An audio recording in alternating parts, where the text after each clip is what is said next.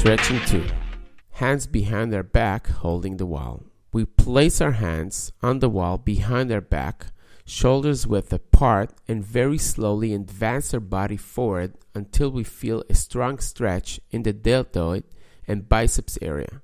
We hold for 10 seconds, shake our arms, and repeat the stretch.